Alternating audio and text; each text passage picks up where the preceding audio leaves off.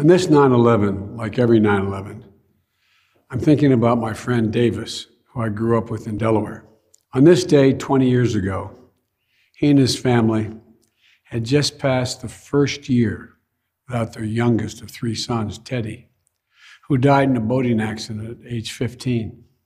And his eldest son, Davis Jr., was just six days into the new job on the 104th floor of the South Tower the World Trade Center.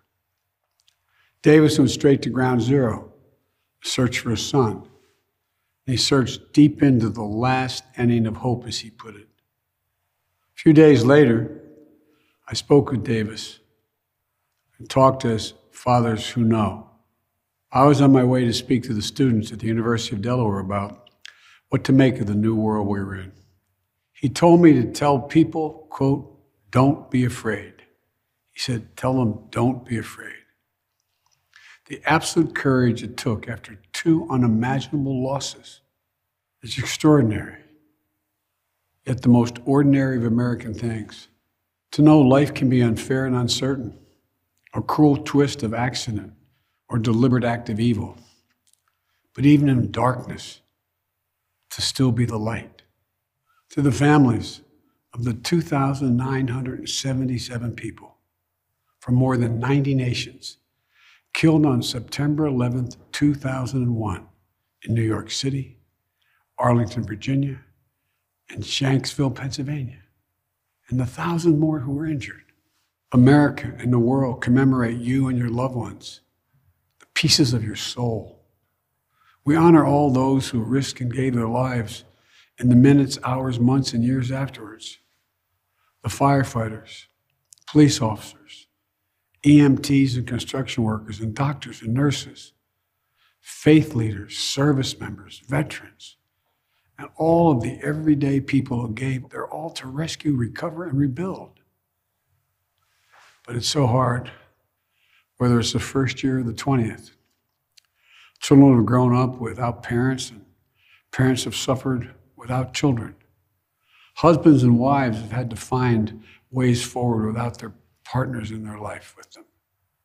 Brothers and sisters, uncles and aunts, loved ones and friends have had to celebrate birthdays and milestones with a hole in their heart. No matter how much time has passed, these commemorations bring everything painfully back, as if you just got the news a few seconds ago. And so on this day, Jill and I hold you close in our hearts and send you our love.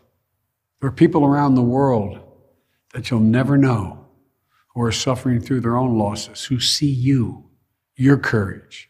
Your courage gives them courage that they too can get up and keep going.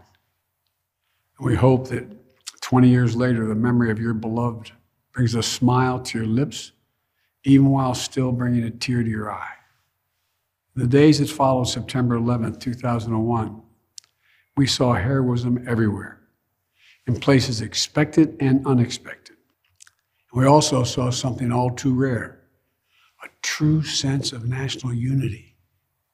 Unity and resilience, the capacity to recover and repair in the face of trauma, unity and service, the 9 11 generation stepping up to serve and protect in the face of terror, to get those terrorists who were responsible, to show everyone seeking to do harm to America that we will hunt you down and we will make you pay. That will never stop.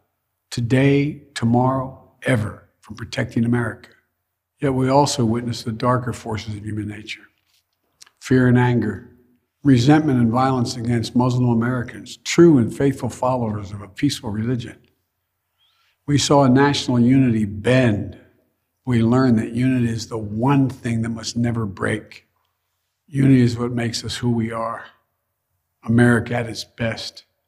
To me, that's the central lesson of September 11th.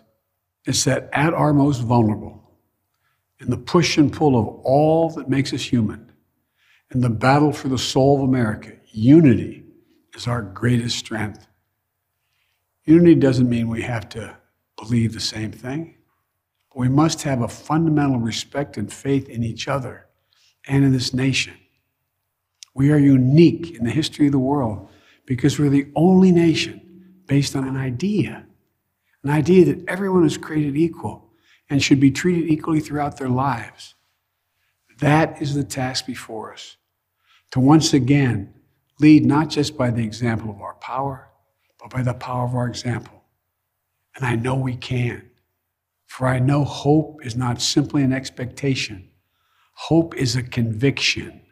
Hope allows us to act with courage, to act and honor those we lost 20 years ago, and those who have given their whole souls to the cause of this nation every day since, to act and build a future, not a reactionary one or one based on fear, but a future of promise, strength, and grace worthy of their dreams and sacrifice, and to act and keep the faith that while life is fragile, it is truly something wonderful.